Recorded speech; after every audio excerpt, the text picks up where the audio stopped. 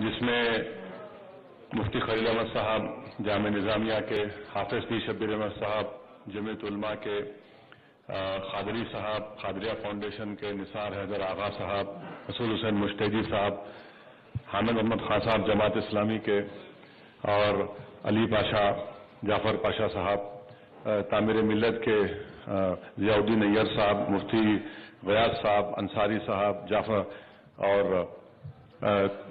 अब्दुल खादिर साहब तबलीगी जमात के मुफ्ती सादिक मोहद्दीन साहब।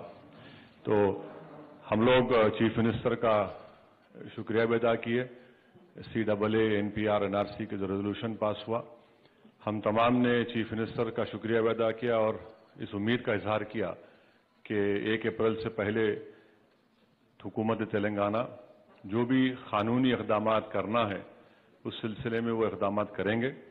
और हमने चीफ मिनिस्टर से पूरा कॉपरेशन हमने दिया है, जो कोविड 19 के सिलसिले में, जिसकी रोकथाम के लिए, और हमने चीफ मिनिस्टर से कहा कि जो भी इकदाम गवर्नमेंट लेगी, हम उसकी तायद करेंगे, क्योंकि ये बीमारी वबा है वायरस है, और मैं चाहूँगा कि हमारे आमिरुल्लाह खान साहब और उनकी वाइफ मोहतरमा सलीमा रिजवी, इन दोनों ने सबसे पहले इस मुल्क में, इस कोविड वायरस के बारे में लिखा। अफसोस की बात है कि गवर्नमेंट ऑफ़ इंडिया ने उसका नोटिस नहीं लिया। मैं चाहूँगा कि इन शॉर्ट आमिर भाई इस बारे में जो चीफ मिनिस्टर को कहा गया है वो बताएँगे आपको। शुक्रिया असद भाई। हम हम ये बताना चाह रहे थे कि हैदराबाद एक ऐसा शहर है जो, और तेलंगाना एक ऐसा स्टेट जहाँ पे अभी हम महफूज हैं।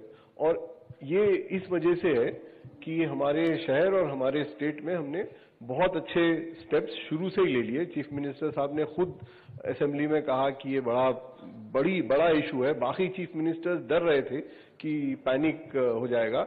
लेकिन हमारे चीफ मिनिस्टर ने किया और अब हमको चाहिए कि यही हम आगे ले जाएँ। हमको ये ज़रूरी है ये समझना कि ये बहुत बड़ा मसला है।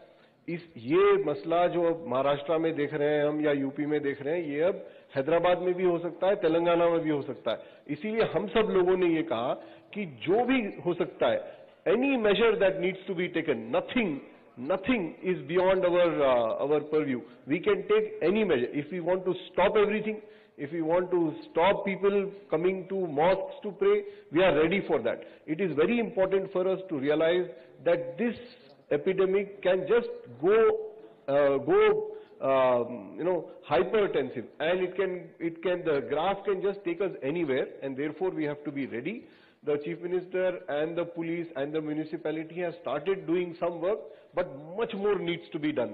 It will be unfortunate if even one person dies.